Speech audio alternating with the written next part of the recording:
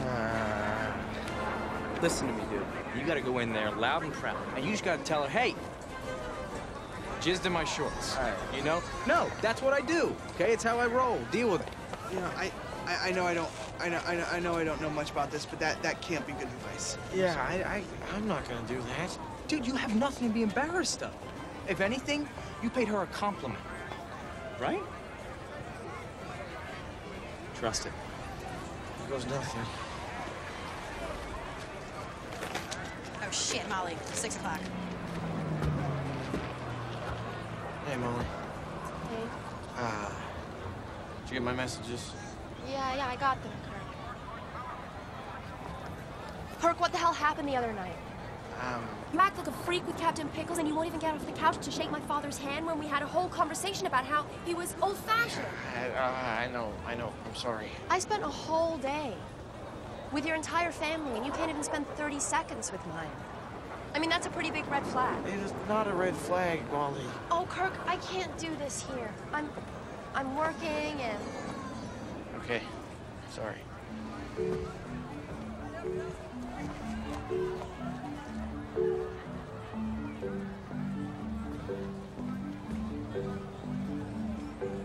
I ejaculated my pants.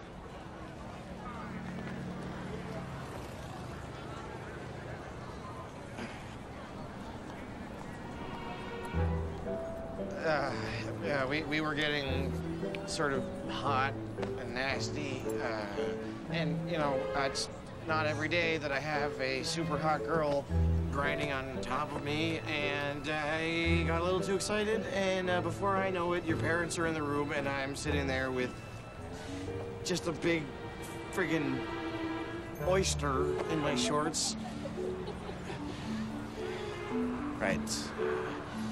Sorry. I'm sorry.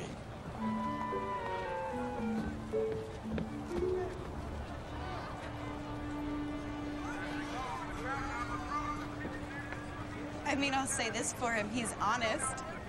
So, thanks for the advice. That went horribly. Enjoy the air show, boys. and I'm going to uh, go. No guy in his right mind would ever make that up. Right? You should probably go talk to him. Yeah. Just wait one second. And here she comes.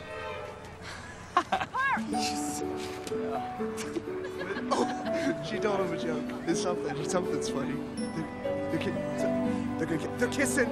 Yes! You're like Yoda, Yeah, I know. like sex Yoda. The force is strong with you, Jack. Trust the system. It takes care of itself. That went well. Kinda. Wow. She sure is something, isn't she?